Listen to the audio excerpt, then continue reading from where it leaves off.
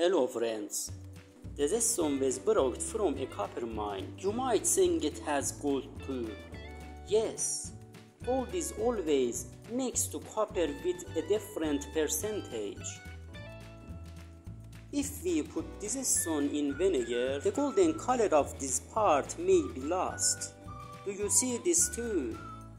These are green crystals of copper sulfate and here copper plays an important role in the hiding gold. The question you will ask is how to separate the gold. Here it is necessary to know that gold in chloride form can to dissolved in vinegar.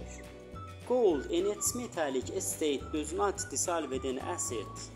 But in the state you see in the picture, it dissolves in vinegar and acid. First we have to remove the copper and only the gold remains. But how? You will see in the next videos. Friends, please like and subscribe.